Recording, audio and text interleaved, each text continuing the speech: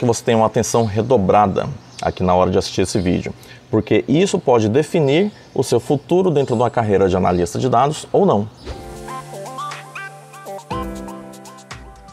Fala Guerreiro Jedi, professor Márcio Santos aqui, seja novamente bem-vindo ao Código CEO. E como você está vendo, possivelmente aqui atrás, né, eu não estou no meu cenário padrão porque eu ainda estou em período de férias e sempre que eu estou em férias eu ainda continuo gravando vídeos aqui para o canal. Então eu sempre gravo no hotel, na pousada, no resort onde estou. Então eu estou fazendo essa gravação aqui também no meu período de férias, por isso esse visual diferente. Então se porventura você vir algum barulho, é, a iluminação mudar um pouco, tá um pouco claro, daqui a pouco fica escuro, tal, enfim, então saiba que é por esse motivo, tá bom? Simbora pro conteúdo. A ideia desse vídeo aqui é eu falar para você, né, o que que faz um analista de dados, né? Um analista, um cientista de dados, o que que ele faz no seu dia a dia de trabalho, como que é a dinâmica dele como é, cientista, como analista mesmo dentro da sua profissão, quais são as diretrizes que ele utiliza para poder trabalhar e qual tipo de empresa que geralmente contrata esse tipo de profissional. Ultimamente, a profissão de analista de dados está crescendo muito, né? existem várias áreas dentro da TI, mas a parte de análise de dados tem crescido bastante, porque hoje em dia a informação ela tem um valor muito peculiar. Então as pessoas querem mensurar esses dados para conseguir tomar decisões. Então, profissão de analista de dados hoje em dia está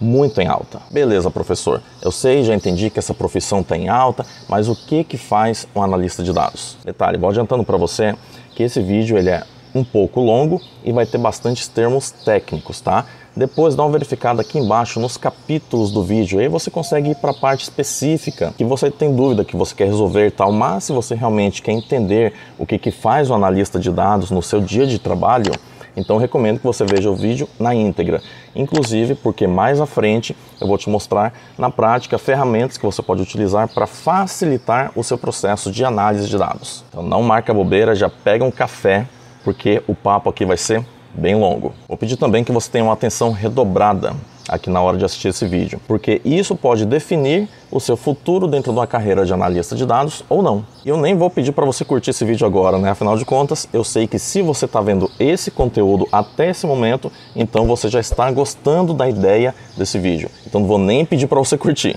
Bom, vamos lá. Então o analista de dados, na prática, ele vai interpretar dados, vai coletar dados e vai também transformar esses dados em informação para gerar conhecimento. Esse processo de pegar os dados crus no seu modo é, inicial, no seu modo primário, transformá-los em informação já é uma parte da análise de dados, tá bom? Mas só que é a parte onde você está abstraindo esses dados. E depois que você tem essa informação toda organizada, você pode gerar conhecimento a partir dela. Por exemplo, você tem lá é, idade 38, é, sexo masculino, por exemplo, tá? e aí sandálias, dados totalmente dispersos entre si. Mas quando você agrupa esses dados, você consegue gerar a, a informação que vai conseguir te gerar um conhecimento. Por exemplo, homens de 38 anos, né, sexo masculino, utilizam sandálias. Tá? Então, você consegue, através do processo de análise de dados, abstrair algo que, em tese, não faz muito sentido, não tem correlação entre si, e consegue fazer com que isso gere pontos de tomada de decisão pela empresa, pela corporação, pela organização que estiver contratando seu serviço de analista de dados. E as fontes de dados são infinitas, tá? Pode ser banco de dados, SQL, relacionais, não relacionais. Tenho vídeos no canal onde eu falo a respeito dos diferentes tipos de banco de dados. Podem ser planilhas em Excel, é, pode ser documentos em Word, pode ser listas de e-mails, enfim as fontes de dados são diversas e o analista de dados precisa ter essa noção de conseguir conectar a sua aplicação de análise com várias fontes de dados. Afinal de contas, a empresa não pode se basear em apenas uma fonte para poder tomar decisão. Ela tem que verificar o que, que tem no banco de dados, o que, que tem lá nas, nos documentos de Word, o que tem nos documentos de Excel, o que, que tem nos e-mails, o que, que tem nos anexos dos e-mails, o que, que tem lá na, no, no, documento, nos documentos do Drive, o que, que tem nos documentos que estão espalhados em todos os computadores da empresa, tem que se conectar a esses computadores, enfim. Esse processo de extrair os dados de diversas fontes é o que a gente chama de ETL, na verdade a extração, a carga e o carregamento desses dados já de forma organizada. Essa sigla ETL significa Extract, Transform e Load. Tá? Então você vai extrair os dados brutos da sua fonte padrão, vai transformá-los, organizá-los né, de uma forma mais compreensível e aí você vai carregar esses dados numa nova estrutura, numa nova ferramenta e aí sim, em cima desse processo de dados já carregados, você consegue é, mensurar essas informações utilizando ferramentas de análise de dados. Depois que você gera esse ETL, aí geralmente você alimenta um Data Warehouse ou então um Data Lake, tá? que é um lago de dados, né? para poder, a partir daí, fazer o processo de ou análise ou mineração de dados, tá bom? Ambos os segmentos estão diretamente ligados com dados mas só que a gente aqui nesse vídeo especificamente vamos tratar só de análise de dados. Agora pensa você em trabalhar com isso de forma manual. Você sair de computador por computador dentro de uma empresa, de uma mega corporação que tem aí 3 mil, 4 mil máquinas, pegando dados, saindo em todos os bancos de dados, coletando dados, saindo todos os e-mails, baixando e-mails, baixando arquivos, coletar tudo isso e analisar manualmente. Complicadíssimo, né? E é aí que entra o analista de dados. Né? O que, que faz o analista de dados? Ele faz justamente essa aglomeração das informações, mensura e gera relatórios para a tomada de decisão. Se você já programa, ou pelo menos já entende um pouco de programação, você deve já estar imaginando, né? Ah, vou ter que criar ali uma conexão para poder puxar é, informações de um banco de dados, vou ter que criar conexão para poder acessar um Gmail, para acessar o e-mail da empresa, para acessar os arquivos que estão anexos dentro do e-mail, configurar APIs, configurar tudo isso. Imagina o trabalho disso tudo se fosse manual. Sem contar a parte de quebrar exceções, quebrar criptografias, é, configurar é, é, verificação de dois fatores, enfim. Olha o trabalho terrível que você teria manualmente para conseguir fazer tudo isso para acessar, por exemplo, um e-mail.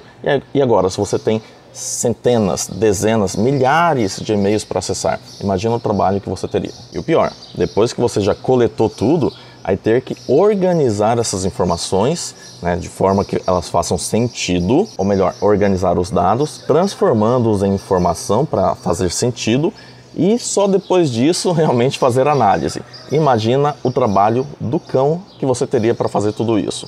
E é aqui, exatamente nesse ponto, que entra o pulo do gato. Eu vou te mostrar uma ferramenta gratuita que você consegue é, pegar a sua aplicação, ou melhor, pegar várias aplicações, conectá-las entre si para te facilitar o processo de análise, mensuração e conexão de dados. Então, por exemplo, você pode muito bem conectar o seu Gmail num banco de dados MySQL tá? de forma que ele puxe informações lá do Gmail, armazene diretamente dentro do banco de dados para que você comece a mensurar, ou melhor, a, a, organizar os dados. Você pode conectar essa aplicação numa conta do, do Insta, numa conta do WhatsApp, de forma que todos esses dados venham para dentro da aplicação, né, do, do seu banco de dados, e você comece também a organizar tudo certinho para posteriormente fazer análise. Imagina só, ter uma ferramenta gratuita que você consegue fazer isso de uma forma muito prática. Então para isso eu vou te chamar aqui para minha tela, você vai vir aqui comigo, eu vou te mostrar na prática essa ferramenta, você vai entender basicamente como que ela funciona, os recursos, padrões que ela tem, tá? Lógico, tem muito mais coisa que dá para você explorar, mas só que aqui eu vou pelo menos te apresentar para você entender e conhecer essa ferramenta que a gente chama de NA10. Bom, é o seguinte, que, que você vai precisar fazer para começar a utilizar o NA10? Primeira coisa, tá? Você tem que entender que ele é uma plataforma, né? É uma aplicação que pode rodar em nuvem, tá? Dentro do próprio servidor aqui da empresa, ou pode também rodar no seu computador, é, tem uma versão desktop, tá? Ou você pode rodar também no seu servidor web. Tá? Existe essa possibilidade também. Isso é bastante interessante para você ter uma certa flexibilidade e conseguir utilizar a, as suas aplicações de automação da onde você estiver. Se você estiver com ela no desktop, perfeito, você consegue usar no seu ambiente de rede, nas suas máquinas internas, né, nos seus terminais, só que você não vai conseguir é, acessar essas aplicações quando você não estiver dentro da sua empresa. Então, o interessante é que você utilize é, também, experimente né, a versão que fica hospedada na web, ok? E para isso, você tem toda uma explicação aqui dentro da, da estrutura do próprio site, né, do NATN, explicando tudo isso daí para você direitinho em detalhes. Para você começar o processo aqui, você vai ter que é, clicar no Get Started, tá? Ele vai carregar aqui uma tela para você. Nessa tela ele vai explicar isso que eu acabei de falar, que você tem a opção aqui de Cloud, de Self-Hosted, né? Ou seja, você pode hospedar por conta própria o arquivo ou então utilizar a versão desktop. Nesse caso aqui, eu vou usar a versão desktop para te mostrar alguns recursos básicos de como que o NA10 funciona, tudo bem? Mas aí você escolhe a opção que ficar mais acessível para você.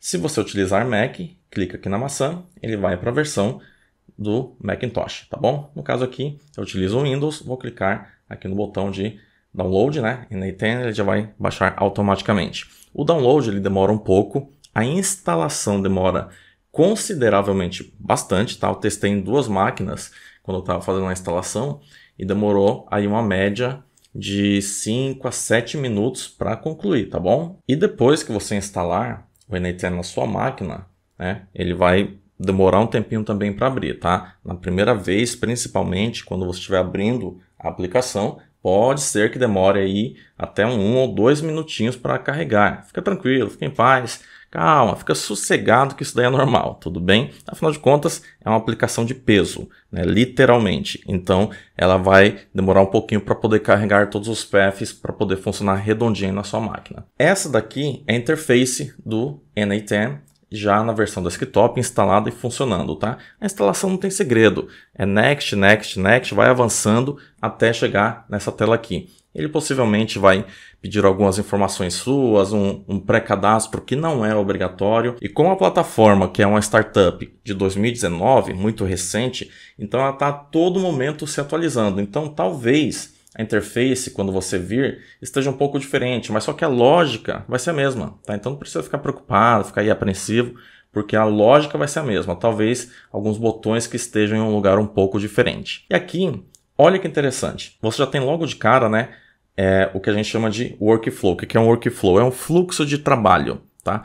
Esse fluxo de trabalho é justamente a sua automação. É nesse ponto em que você coloca o que, que você quer que aconteça numa determinada sequência. Por padrão, você tem sempre três estados que você precisa ter em mente, tá? Primeiro é o estado de gatilho, né? o que, que vai desencadear alguma coisa, o que, que vai acontecer com, quando essa coisa for desencadeada e, por fim, o estado final, que é o output. Né? Então, você tem o input, que é o que está desencadeando uma determinada ação, o estado do que, que vai acontecer que é o, o core, né, o coração realmente ali da sua automação, e o estado final, que é quando a ação já foi terminada, a sua automação terminou. Bom, seguinte, você pode clicar aqui no mais, você tem algumas opções, tá? Ele vai verificar aqui, por exemplo, alguns eventos dentro de determinados aplicativos, ok? Lembrando que estou aqui na versão desktop, então estou me referindo a um, um, aplicativo que esteja instalado, ao, ao, Google Drive na versão desktop instalada aqui no computador. Ele pode verificar também alguns eventos manuais que você execute, tá? Enfim, ah, vou colocar só a nível de teste, só para você verificar. Aqui, ó, o OnApp Event. Escolho o software que eu quero, no caso aqui o Google Drive, pode ser qualquer outro, tá? Eu vou dizer que, por exemplo, quando um arquivo for criado no Drive, ele vai desencadear determinada ação. Então, observe o seguinte, é só desconsiderar esse, essa setinha aqui, tá? De, de algum evento é, manual, tá? Quando o, um clique for, é, for realizado, só desconsidera. Vou até tirar ele daqui. Você considera o seguinte, que determinada ação vai ser desencadeada né, quando você for manipular um determinado arquivo dentro do Drive. No caso aqui, criar um arquivo. Você vai ver que tem essa exclamação. Significa que você precisa configurar alguns dados. Afinal de contas, você tem que permitir que a aplicação entre dentro do seu Google Drive. Tá? Então você vai precisar aqui das suas credenciais, vai precisar de, um, de um ID, do endereço da API, né, da API para poder se conectar, tudo direitinho. Todos esses detalhes você consegue ver com muito mais facilidade e muito mais detalhadamente no curso que eu estou falando, que está aqui na descrição e no primeiro comentário fixado. Tá? É bem interessante que você dê uma verificada, porque isso daqui vai te salvar a vida literalmente quando você estiver trabalhando com análise de dados, né? mineração de dados, ciência de dados, ou mesmo quando você estiver fazendo algum tipo de automação para o seu cliente. Se você é programador freelancer, isso aqui vai fazer toda a diferença, principalmente para você levantar uma grana bem legal aí, tá? Então, por exemplo, você pode dizer que quando um arquivo for criado lá no Google Drive, ele vai mandar um e-mail utilizando o Gmail, tá? Para tal endereço de pessoa, enfim, endereço de destinatário. Você tem toda uma facilidade de mexer aqui nesses recursos do N10. Lembrando que você tem várias funções que você pode abordar aqui. Por exemplo, só pegar aqui uma outra, só para a gente ter uma ideia. Olha só, manipulação de dados, é, manipulação de arquivos e diretórios, comunicação, tá? Por exemplo, se eu vier aqui, ó, communication, a gente consegue fazer integração aí com plataformas de comunicação, ó, Discord, está disponível aí para gente, Gmail, né? Telegram, onde está o Telegram? Tem algum lugar aqui, MailJet, olha só, interessante para quem trabalha com marketing na internet, ok? Tem aqui uma infinidade. Lembrando que tudo isso daqui está dentro da parte de comunicação. Cara, essa ferramenta aqui é uma mão na roda. Ela é essencial. Vou arrisco dizer que ela é necessária para que você tenha um sucesso de fato dentro dessa carreira, tá bom? Porque hoje em dia você ficar mensurando dados, né, de uma forma mais arcaica, mais manual, vai te tomar muito tempo. E o NTN com certeza vai ser o diferencial na hora de fazer você dar aquele upgrade na sua carreira. E se você também é um programador, freelancer e tem interesse em é, automatizar algumas tarefas lá para o seu cliente, criar um software de automação. Imagina só criar um, um chatbot do WhatsApp que fique respondendo mensagens automáticas e você oferecer isso daí como serviço para os seus clientes. Cara, isso daqui é um dos grandes diferenciais que vai fazer você ganhar muita grana se você souber usar da forma correta. Lógico, para usar da forma correta, você tem que seguir o passo a passo. Não adianta ir saindo dando tiro no escuro, achando que vai conseguir dominar a ferramenta, porque não vai. E por isso, reforço, tem o link do curso completo de N10 aqui na descrição e também no primeiro comentário fixado. Confere e com certeza vai fazer toda a diferença para você.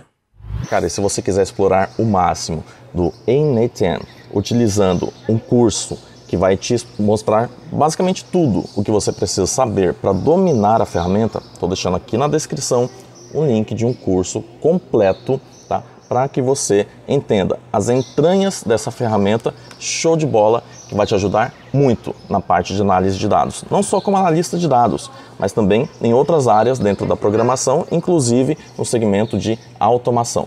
Link aqui na descrição, confere, com certeza vai te ajudar. Por hoje é isso, um grande abraço e que a força esteja com você.